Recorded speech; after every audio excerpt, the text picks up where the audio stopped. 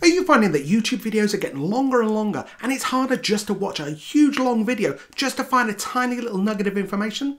Did you know that you can summarize YouTube videos for free like this? I'm the productivity coach and today I show you how.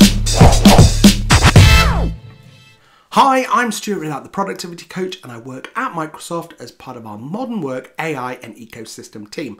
And today I want to show you a great functionality that is in the free version of Copilot that anyone has access to, regardless of whether you use a personal or an enterprise Microsoft 365 account.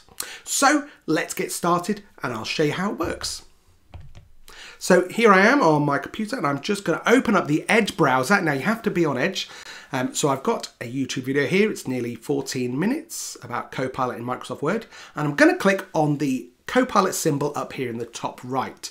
Now it can be on a personal one or you can see here um, I'm on an enterprise account because I've got this protected thing. It doesn't matter, they both work. Um, so let's say I want to find out about this video without watching it. So I'm going to click summarize this video and I'm going to uh, hit enter and now it will go through and it will summarize the video. Now it uses the transcript which is already uh, enabled in YouTube to be able to summarize that video. Um, but you can see here that this video is 14 minutes nearly um, and in only seconds it's got uh, my summary. So I've got a bit of a summary about what the video is about and then I've got highlights. So the purpose and benefits of Copilot, the ingredients of a prompt, how to use uh, or how to create new content in Word, uh, etc. Okay, and you can see it doing all of this automatically.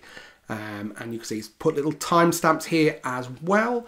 Um, so you know whereabouts in the video those things are happening. Um, I can even see that it's pulled out a web address that I've mentioned there as part of that. So it's really, really, uh, really, really easy to use. But now it's finished, you can see that actually it's put citations. So those timestamps have become clickable. So I can even jump to the right place of that. Uh, okay, but one of the great things is I can ask questions. So I'm going to say, what are the ingredients of a good prompt? So I saw it mentioned uh, a little further up in the summary, but it didn't actually tell me what those ingredients are. And again, what it's going to do now is look into the transcript and come back with the answer. So it's saying, okay, so the first one is goal, what do you want to achieve, then context, then the source, and then your expectations. What would a successful outcome look like? Okay, so again, it's pulled that out. I haven't even had to go to that place in the video to be able to find that. It's all done it for me automatically. Okay, so I had mentioned a, a web address, so I'm going to say, are there any useful websites mentioned uh, in, in, here? So, okay, so are there any useful websites mentioned? Uh, searching for the information. Ah, now I can already see what's going to happen here. Now you can see here it says searching for useful websites mentioned in the document, and I can tell that what it's doing. Yes, it is. Uh, it's now looking on the web. So you can see here it's got adoption site, it's telling me about it, but you can see here that it's put lifewire.com. Uh, it's got the Purdue uh, online writing lab as well. Uh, so you can see that what it's actually done here is it's gone off onto the internet for that. So it's something you really need to be, just be be mindful of because these aren't the uh, aren't the links that I gave in the video. So you need to just be really careful of that. Um, and that's why you get these that's why you get these citations and these references so you know um, what is uh, what is true and what isn't. So I'm going to change this and say in this video, does the presenter men oh, mention any websites?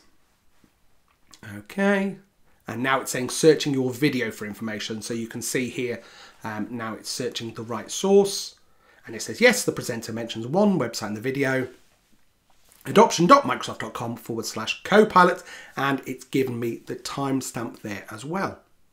So really, really easy to get used, uh, start using that straight away um, especially for those much longer videos. Um, obviously, don't use them on any of my videos uh, because I need to have as much of the uh, as much watch time as possible. Um, but honestly, you can do this on any video as long as it's got a transcript turned on. Then you can use this. So it's a really great way to be able to cut through and find the content that you want, um, especially if that video hasn't put like chapters in and things like this. Um, so just while we're talking about videos, please remember to like, share, and subscribe to my uh, channel. Hopefully you found this useful. It is very short video uh, because we're talking about those horrible long videos here. So uh, hopefully you find it useful and I'll see you again on another video.